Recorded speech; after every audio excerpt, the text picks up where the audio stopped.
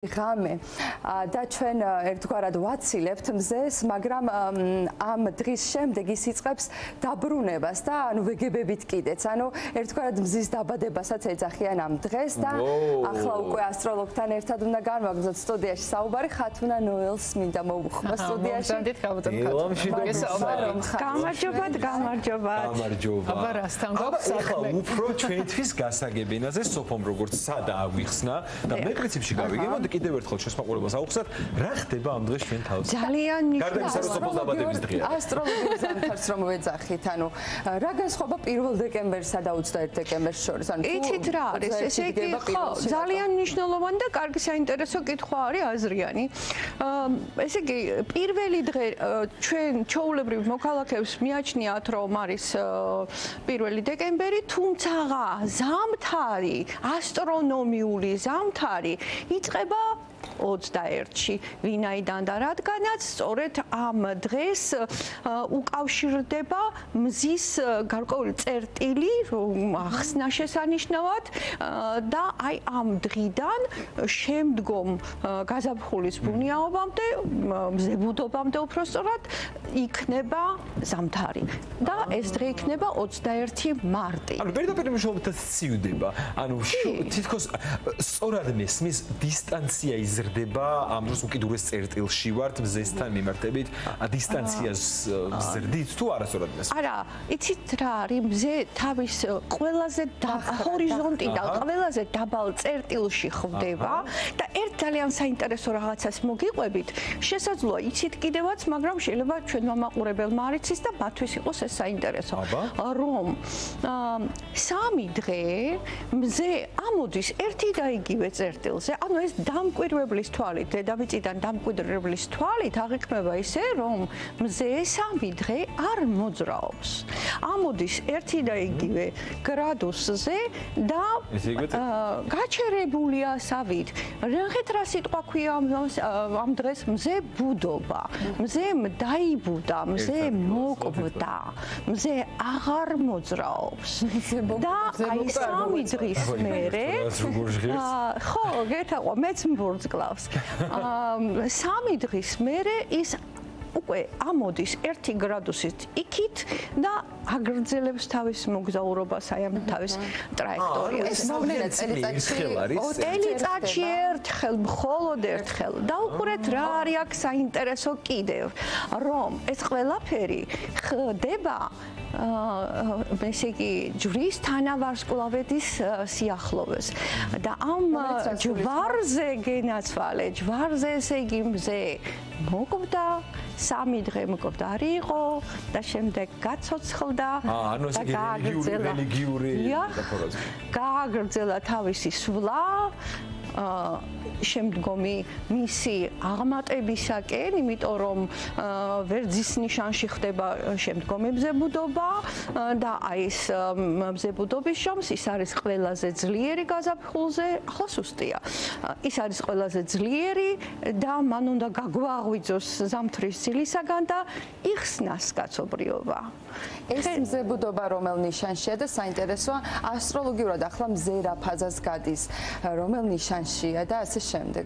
და რას ნიშნავს? ხის რქის პირველ გრადუსზე სანამ არ გადავა მზე, ჩვენზე გადის ყველაფერი. ძირფასად ხის მნიშვნელობას. ხის რქის პირველ გრადუსზე ხდება ეს ამბავი ყოველთვის. 0 და 1 რო დაიწერება მინუტი, აი მაშინ არის ზუსტი მზებუდობის დრო. და შეგიძლიათ, მე ვიცი რომ ძალიან ხშირად აინტერესებთ ხოლმე გარკვეული რიტუალები, გარკვეული რაღაცა ჩვევები, წესები, რა უნდა ქნათ, როგორ უნდა ქნათ. თუ აი რა. შესანიშნავია ცეცხლი, იმიტომ რომ რა არის მზე? მზე არის პლაზმა, ხო? და ეს ფაქტურად ახლა პლაზმას აქ ვერ შექმნი, მაგრამ ცეცხლი შეგვიძლია, ხო? აა ნებისმიერი ფორმით. ახლა ცეცხლს ნუ წავკინდებთ თავის და მაგრამ სანთლის ანთება, გეთაყვა, სანთლის ანთება არის მშვენიერი. აა ამის მნიშვნელობას სურვილებს, ხო? აუცილებლად. აა ერთ კიდევ ვიტყვი, რომ აი ჭია კოკონობა რო გვაქვს ხოლმე, ზაფხულ წერტილში. ანალოგიურად, აქაც შეიძლება და ჩვენი ტრადიციაც გულისხმობდა ამას, რომ ანთებდნენ დიდ კოცონს და გადახტომის რიტუალი იქაც. კი, კი.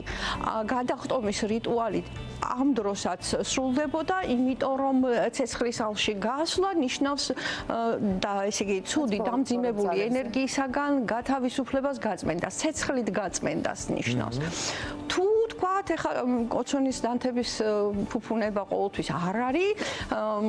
შეიძლება ბავშვობაში ვიღაცას ახსოვდეს ანთებული ბორბალი, ცეცხლწაკიდებული ბორბალის დაგორების. როგორ არა მახსოვს კარგად? აი გეთაყვე. თუმცა მაშინ ვერ ვიაზრებდი რომ არ მოგაცხოთ რომ თურმე აი ამ რაღაცა კოსმოსურ პროცესში ვიყავი ჩართული. დიახ, ბორბალი რა არის?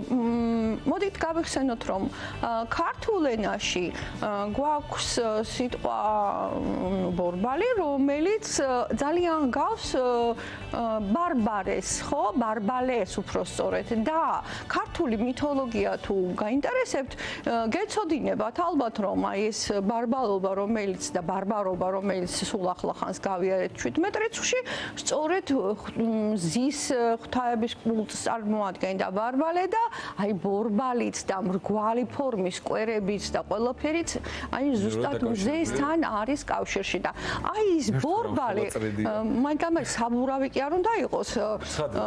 ხის ბორბალი უფრო მაინც მოდი არ იყოს მოწოდება ეს რომ ბორბლები დავაგოროთ და ცეცხლიანი რომ რაღაც ვიდობიანი რომ გავიაროთ ეს საჯობია ყველაზე ყველაზე ოპტიმალური გამოსავალი არის რომ სანთელი დავანთოთ და ნუ ჩვენი სურვილი. ჩაუთქვათ ოღონდ სურვილის ჩათქმასაც რა თქმა უნდა თავისი გარკვეული წესები აქვს და ამ შემთხვევაში წესი ესეთია რომ უმჯობესია ეს სურვილი დაიწეროს ფურცელზე აა და არა მხოლოდ სურვილი, არამედ წლის მანძილზე თუ რამ ნეგატივი შეგვხედრია ის კიდევ ცალკე ფურცელზე დაიწეროს. ასევე მნიშვნელოვანია როგორ ფორმულირებას მივცემთ სურვილს. უკვე ახდენილ მდგომარეობაში ეს მე მაქვს, მე ვარ. რომ თითქოს ეს უკვე ახდა მე. ანუ ამ ენერგეტიკას მე დავაკეთე. მე მაქვს, მე ვარ, მე ვაკეთებ, მე თითქოს აწმყოში ეს უკვე ხარ, უკვე გაქვს. და განსაკუთრებით არავითარ შემთხვევაში არ შეიძლება უარყოფითი ნაწილაკების გამოყენება. მე არ მინდა, მე არ სურს მე არ არ ვერ არავითარ შემთხვევაში სამყაროში ყველაფერი არის არსებული. არა გეთაყვა. სამყაროში ხო ყველაფერი არსებულია, ხო? არ არსებული რამ არის არ არის, ხო? და ამიტომ სამყარო შენი არ არ ესმის. ის გამოგიტოვებს ამ არს, მე არ მინდა დაბალი ხელფასი და რა მოისმინა? მე მინდა. პარველმა ანგელოს მა მე მინდა დაბალი ხელფასი. კი ბატონო, აგერ კონტექსტი. ბატონო. ანუ უარყოფას არ გზავნა. უარყოფა ამოვაგდოთ შემდგომ ამ ნეგატივით გაჟღენთილ ფურცელს აი ლამაზად და კოხტად წვავთ ხოლო მეორეს რომელზედაც სურვილი ჩავიფიქრეთ უბრალოდ აი ესე შემოვატაროთ ამ სანთლის თავზე რომ ენერგია მიიღოს და ვინახავთ წლის მანძილზე რაც აგიხდება დამოშალეთ და ნახეთ რა დაგჭირდება. ხო. აა გარდა ამისა შეგიძლიათ აიღოთ ნებისმიერი მცენარის თესლი და ну 1 2 3 რამდენიც გნებავთ ჩარგოთ ცალცალკე, პატარ-პატარა, აი როგორც ახლა აქ არის რაღაცა ქოთნებში, რაღაც მსგავს ქოთნებში ჩარგოთ. და თან ჩარგვის პროცესში ჩაუფიქრეთ სურვილი. რომელი თესლიც გაიხარებს, ის სურვილი ასრულებადია ამ დღეს, ამ დღეს, ამ დიდი ენერგეტიკა ეს ყოველთვის კი არა. აი ამ დღეს, რომელიც არის უზარმაზარი ენერგეტიკის მატარებელი. აი საიდან მოდის ეს წესები, რომ დავწვათ, რომ ჩავთესოთ? ანუ რასთან არის ეს კავშირში? ვის ვის ანუ ეს თქვენ თავაზობთ თქვა პრესმეყრებს საიდან იღებს ეს ყველაფერი სათავეს იცით რა არის რაღაცა ტრადიციები ხო არსებობს რომელიც გადმოდის ესე ზეპირ სიტყვიერად რომ ჩვენი ტრადიციების ნაწილია რომ აი მოხუცები რაღაცას რომ აკეთებენ და რომ მიხვალ და კითხავ რომ ბები რატომ შვები ესე? იმიტომ იმიტომ ამიტომ ხო?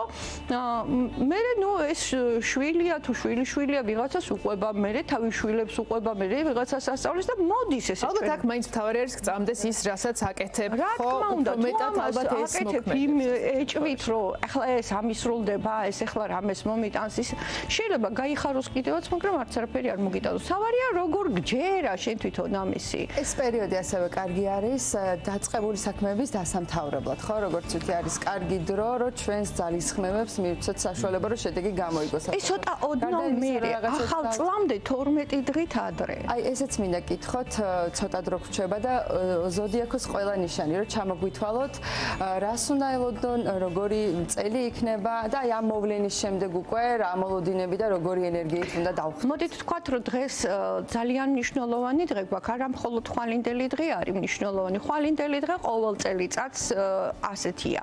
მაგრამ დღევანდელ დღეს ჩვენი მზის სისტემის ყველაზე დიდი პლანეტა იუპიტერი იცვლის ზოდიაქოს ნიშანს და ვერძის ტერიტორიაზე გადადის. აა ვერძი მოგეხსენება ცეცხლის სტიქის წარმომადგენელია, შესაბამისად, ცეცხლის სტიქის სამივე ნიშნისათვის, განსაკუთრებით რა თქმა უნდა ვერძებისათვის, ასევე ლომებისა და მშვილდოსნებისათვის, წლის პირველი ნახევარი ვიდრე წარმატების და ბედნიერების პლანეტა წოდებული იუპიტერი მათ მონათესავე ნიშანში იმოძრავებს, რასაკვირველია იქნება ასევე წარმატების და ბედნიერების მომტანი. თუმცა ვერძი ის კატეგორიაა, რომელიც აქტიურია საკმაოდ, ლიდერის ტიპის არის და შესაბამისად ანალოგიური თვისებების გამორჩენას ითხოვს ადამიანებისაგან, რომ მათ იაქტიურონ, გამოიჩინონ ინიციატივები, რაღაცა საინტერესო ახალი შექმნან და მიაწოდონ თქვა საზოგადოებას. ეს ძალიან მნიშვნელოვანია მნიშვნელოვანი იქნება, იმიტომ რომ უკაცრავად და დივანზე წამოწოლილი და ელოდორო თაზე რაღაცა ხდება და თურმე შენც უნდა აყვავდე და შენ ესე არ არის. დაჩეხება დანარჩენზე. დანარჩენი ნიშნებისათვის მინდა ვთქვა, რომ ესე იგი შემდეგი ხომ მოდის კურო. კუროში გადადის უკვე 16 მაისის შემდგომ წლის ბოლომდე იმოძრავებს კუროს ნიშანში იუპიტერი და ესე იგი კუროები ჯერჯერობით უნდა მოემზადონ ამ პერიოდისათვის გაიაზრონ რა სურთ რანებავთ და აი უკვე მაისის შუა რიცხვებიდან მოდის პერიოდი, როდესაც მიწის ნიშნებს უმართლებთ, ესე იგი. და რომლები არიან თავისთავად ცხადია კუროები, ქალწულები და თხისრქები. მათთვის უკვე წლის მეორე ნაწილი, კიდევ უფრო დიდი ნაწილი იქნება საკმაოდ წარმატებული. ასევე მინდა ვთქვა, რომ წლის ნიშნებისათვისაც შესაბამისად მონათესავეს იქია წყალი და მიწა მეორე ნახევარი უკეთესი იქნება, ხოლო ჰაერის ნიშნებისათვის ესენი არიან მოგეხსენებათ ალბათ ყუპები, სასწორები და მერწყულები, აი ამათთვის იქნება წლის პირველი 5 თვე გაცილებით უკეთესი ვიდრე შემდეგი ნაწილი. ამიტომ მაქსიმალურად რისი გაკეთებაც შეგვიძლია, უნდა ვეცადოთ რომ მთელი ჩვენი რესურსი მოვახმაროთ. რა შეიძლება დანარჩენ ცეცხლის ნიშნებს ვერძის გარდა, შულდოსნებს გარდა? შულდოსნები და ლომები ხომ? წარმატების პერიოდი აქვს მეთქი აღნიშნე. და ახლა ისეთი წარმატებული შეიძლება როგორც ვერძია, რომელთანაც უშუალოდ სტუმრობს იუპიტერი შეიძლება არ იყოს, მაგრამ იცით რა, მოდი ესეც ვთქვათ, რომ ეს მაინც არის ზოგადი პროგნოზი და შეიძლება იქ პირად რუკაში ისეთი საინტერესო რაღაცა ხდებოდეს, მე რომ ვამბობ, რომ წლის მეორე ნახევარი ვთქვათ, მერწყულებისთვის ისეთი კარგი არ არის. შეიძლება იმ მერწყულს კიდევ კარგი რაღაცეები ყავს და იმის მიხედვით უმართლებდეს, ხო? ასეც ცალსახად არ არის. თუმცა აი მზის მიხედვით თუ შევაფასებთ, ხო? სასწორზე და ქალწულზე თუ თუ სასწორი ჰაერის ნიშანია, ამიტომ პირველი ნახევარი წლის პირველი ნახევარი მისთვის უფრო წარმატებული იქნება, თუმცა იცით როგორ არის ვერცი და სასწორი ოპოზიციური ნიშნებია და შესაძლოა სასწორს გარკვეული არჩევანის გაკეთება მოუწიოს რაღაცა ის ხარჯზე მიაღწიოს წარმატებას. მარტივად ვერა. რაღაცა უნდა დათმოს რომ რაღაც მიიღოს. ეს კი არის. ქალწულს რაც შეეხება ქალწულისათვის გაცოთ გადავთვლი ხო? ქალწული ერთი სასწორი მორიელი, მშულდოსანი, თხისრქა, მერწყული თევზები, ვერძი, მერვენიშანი გამოდის. ქალწულისათვის ძალიან კარგი პერიოდია იმ თვალსაზრისით, რომ მას შეუძლია სხვა ადამიანების რესურსები მოიზიდოს და მიიღოს სარგებელი. ზოგ შემთხვევაში ამას იყენებენ ხოლმე ადამიანები, რომ დიდი კაპიტალი სჭირდებათ რაღაცის შესაძენად და სხვა ადამიანების რესურსია იგივე ბანკი და როდესაც იქიდან გამოაქვთ. ანუ ეს პერიოდი მათთვის წარმატებული შეიძლება იყოს ამ თვალსაზრისით, რომ არ გაუჭirdეთ ამ თანხების დაფარვა. მეორეს მხრივ, მერვენიშანი სექსუალურ პარტნიორზეც მინიშნებას აკეთებს და ვთქვათ, მარტო ხელა ქალწულებისთვის კარგი პერიოდია, ესე იგი, რომ მათ ამ თვალსაზრისით ახალი პარტნიორი საინტერესოა. მე ისმეთ ხვდები, რომ ყველაფერი რაც ჩვენ ცხოვრებაში ხდება, დაკავშირებულია კოსმოსურ ენერგეტიკასთან და კოსმოსთან. თუმცა არა ნაკლები არის დაკავშირებული ჩვენთან. განწყობები. იცით რა არის? ვარსკვლავები, მოდი ესე ვთქვათ, ვარსკვლავები რაღაცებს თავაზობენ ტენდენციებს, გვიბიძგებენ, მაგრამ ჩვენ შეგვიძლია არჩევანი გავაკეთოთ. მართალია. ადამიანური ნება არსებობს. ძალიან დიდი მადლობა რომ იყავით ჩვენი გადაცემის სტუმრები. ხვალ 21 დეკემბერია ყველაზე გრძელი დღე და მოვემზად ყველაზე გრძელი ღამე უფრო სწორად და მოვემზადოთ ამ დღესთვის ვიყოთ მზად ვერძის ლიდერობის უნარები ასე ვთქვათ გამოვიდა. სოფოს დაბადების დღე რომ გილოცავთ. სოფო წინასწარ გილოცავთ ამ შვენიერ დღეს შენს დაბადებას. გატახატნა მადლობა სტუმრობისთვის. დიდი მადლობა. დილის გადაცემა დღეს ამით დასრულებულია. ყველას გისურვებთ მშვიდობიან დღეს, რა თქმა უნდა, შევხვდებით უკვე ხვალ დილის 8-ს. კი ბატონო. ნახოთ.